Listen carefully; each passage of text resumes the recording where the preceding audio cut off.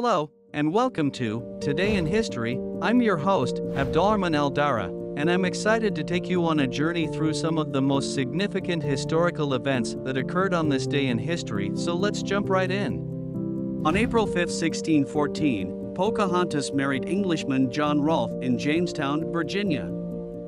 Their marriage helped to establish peace between the Powhatan Indians and the English colonists. On April 5, 1792, George Washington cast the first veto in American history. The bill in question was the Apportionment Act of 1792, which would have established the number of seats in the House of Representatives. Washington believed the bill was unconstitutional, and his veto helped to establish the power of the executive branch to check the legislative branch. On April 5, 1955, Winston Churchill resigned as Prime Minister of the United Kingdom. Churchill had served as Prime Minister since 1940 and had led the country through World War II. His resignation marked the end of an era in British politics. On April 5, 1818, the Battle of Maipú took place in Chile, marking a decisive victory for Chile's independence movement. Led by José de San Martín and Bernardo O'Higgins, the Chilean patriots defeated the Spanish forces, resulting in the deaths of 2,000 Spaniards and 1,000 Chilean patriots. The battle was a significant moment in the struggle for Chilean independence and contributed to the eventual liberation of Chile from Spanish colonial rule. On April 5, 1992, the siege of Sarajevo began during the Bosnian War.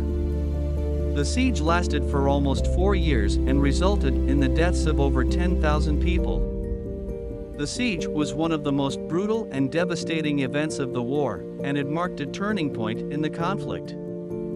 On April 5, 1987, the Fox Broadcasting Company made its primetime TV debut with its first primetime shows.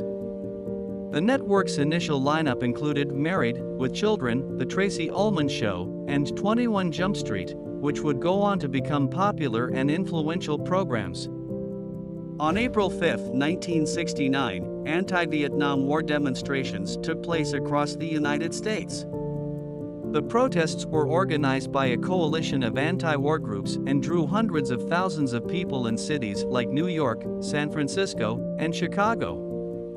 The demonstrations were a key moment in the anti-war movement and helped to shift public opinion against the conflict. On April 5, 2009, North Korea launched a long-range rocket, which it claimed was part of a peaceful space program. However, many countries, including the United States and South Korea, viewed the launch as a cover for developing missile technology. The launch was widely condemned by the international community and led to increased tensions on the Korean peninsula. On April 5, 2010, an explosion at the Upper Big Branch mine in West Virginia killed 29 coal miners. The disaster was one of the deadliest mining accidents in U.S. history and brought attention to the dangerous working conditions faced by miners in the country. The tragedy also sparked debates about mine safety regulations and the use of coal as a source of energy. That's it for today's episode of Today in History. I hope you enjoyed learning about these significant events that took place on this day throughout history. Join me again tomorrow for another exciting episode. Thanks for watching.